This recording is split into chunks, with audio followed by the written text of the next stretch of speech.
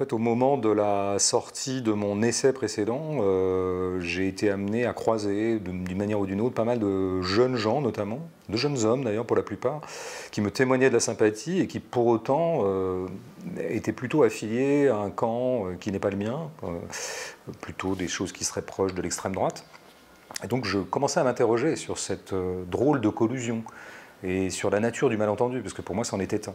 Et puis est arrivée une soirée où euh, j'ai fait une rencontre publique, comme j'en ai fait beaucoup à l'époque, et euh, des jeunes gens, euh, toujours du même profil un peu, m'ont sollicité, m'ont payé un verre en me disant On t'aime beaucoup, on a envie de passer une soirée avec toi, voilà, est-ce que tu veux bien boire des bières avec nous? Bon, Je suis toujours assez, disposé à boire des bières, et puis ils m'étaient assez sympathiques.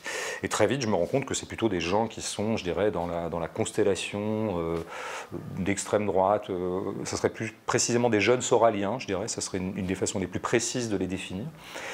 Et donc toute la soirée a été passionnante parce qu'elle a été évidemment conflictuelle, elle a été courtoise mais conflictuelle. Et on a euh, ben, mis au jour euh, nos, dissensions. Là où eux pensaient qu'une collusion était possible, j'ai passé cinq heures à leur expliquer que vous voyez bien que nous n'avons pas grand-chose à nous dire, puisque euh, nous ne parlons pas du tout des mêmes choses, nous n'isolons pas les mêmes objets dans le corps social, nous n'avons pas les mêmes obsessions, nous n'avons pas les mêmes cibles, nous n'avons pas les, les mêmes affects, en fait, je crois. Et surtout, ce qui m'apparaissait dans cette conversation, parce que ça a été une conversation, c'était qu'on ne parle pas la même langue. Et donc c'est là-dessus que je pars dans le livre. Je, passe euh, une bonne cinquantaine de pages à analyser la langue à laquelle j'avais affaire, qui me paraît se caractériser par euh, ce qu'on pourrait appeler en, philosophie un certain idéalisme. Alors pas au sens où on dit que quelqu'un qui euh, est plein d'espoir sur l'humanité est idéaliste parce qu'il aurait un idéal. C'est pas dans ce sens-là, c'est dans un sens plus philosophique. C'est-à-dire un verbe qui se repaît d'idées, c'est-à-dire qui sont boursouflés d'idées, très théoriques, de construction, très mentales comme ça autant de constructions qui s'édifient dans une indifférence presque absolue à la réalité. C'est des, gens qui ont un, souverain mépris pour le réel, et notamment pour le réel social. Alors c'est ça que j'essaie vraiment de, mettre en œuvre dans le bouquin dans un premier temps. Et, c'est à partir de ce moment-là que j'extrapole euh, depuis l'extrême droite jusqu'à des camps euh, a priori plus modérés, d'autres éléments, je dirais, du bloc bourgeois, qui me paraissent finalement produire une langue tout aussi abstraite tout aussi euh, idéologique et tout aussi euh, indifférente au réel, et notamment à cette partie du réel qui, moi, m'intéresse euh, au premier chef, à savoir le réel social. C'est-à-dire, ce que j'entends par réel social, c'est le constat que nous sommes des sujets fondamentalement sociaux. Hein. Nous sommes dépendants d'un corps social. Et c'est ça qui doit d'abord euh, pour moi, présider à la réflexion politique. C'est dans quelle mesure euh, je suis euh, opprimé par le corps social dans lequel je suis et dans quelle mesure je pourrais m'en émanciper. Bon, bah, cette question-là est tout à fait absente de, disons, du paysage mental de mes interlocuteurs. La, colère est, un affect extrêmement répandu. Tout le monde a ses petites colères. Même le, plus bourgeois des bourgeois et le plus conservateur des propriétaires est en colère. Il est en colère contre ceux qui spolient sa propriété, euh, qui, la, salissent. Euh, par exemple, euh, le, commerçant des Champs-Élysées est très en colère contre les Gilets jaunes qui lui bousillent sa vitrine tous les samedis, en novembre 2018 ou un peu après. Donc, la colère, c'est vraiment un affect très répandu de tous les camps, transversal à tous les camps.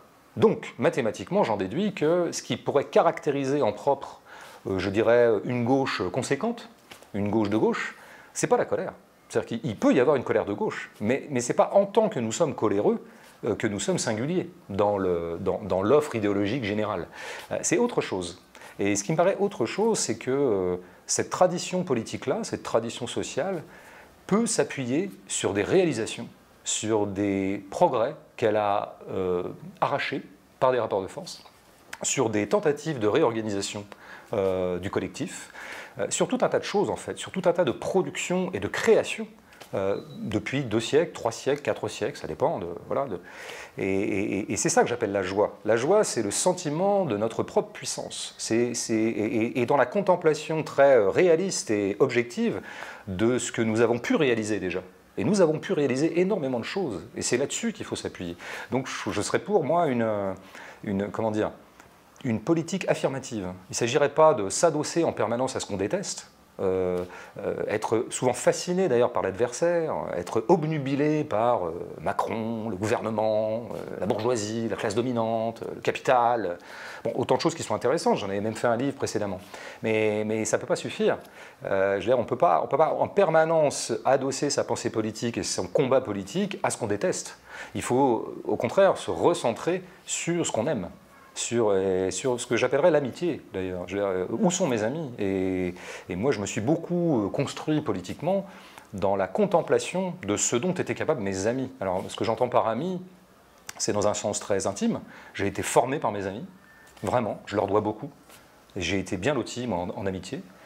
Mais, mais, mes amis, j'ai une conception plus large de l'amitié, c'est-à-dire que quand je lis euh, Blaise Pascal, quand je lis Bakounine, quand je lis Georges Perec, et quand je vois des films de Jean Renoir ou de Jean-Luc Godard, j'ai l'impression d'avoir affaire à des amis.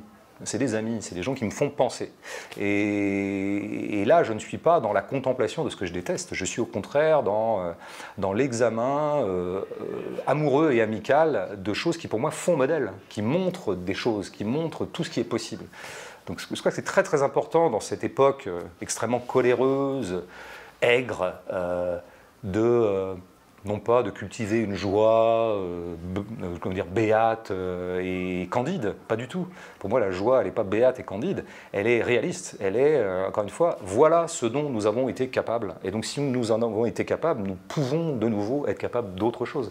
ça me paraît vraiment très précieux par les temps qui courent, où, où finalement, il me semble que l'affect de colère, tel qu'il domine le, champ politique actuellement euh, est plutôt producteur de régression et de réaction que d'émancipation.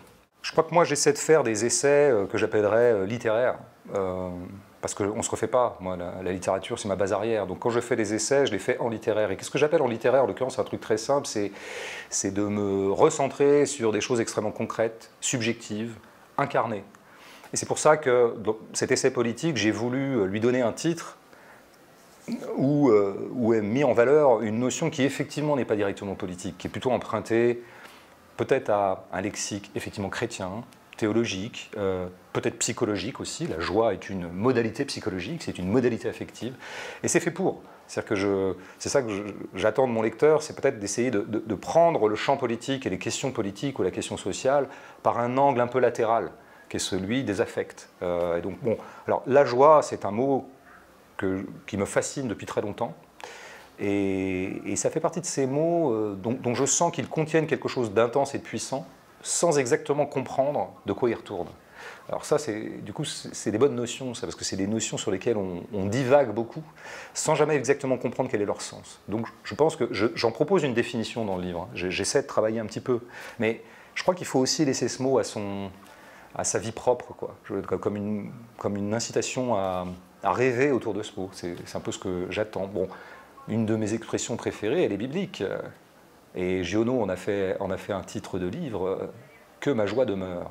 Ah, c'est beau ça, c'est beau. Je ne peux pas en dire beaucoup de choses de plus que je trouve ça beau et que j'ai l'impression que dans cette phrase ou dans cette incitation, dans cette auto-incitation, il y y a une clé. Voilà. Alors euh, j'espère qu'après la lecture de notre joie, cette clé sera un peu plus claire.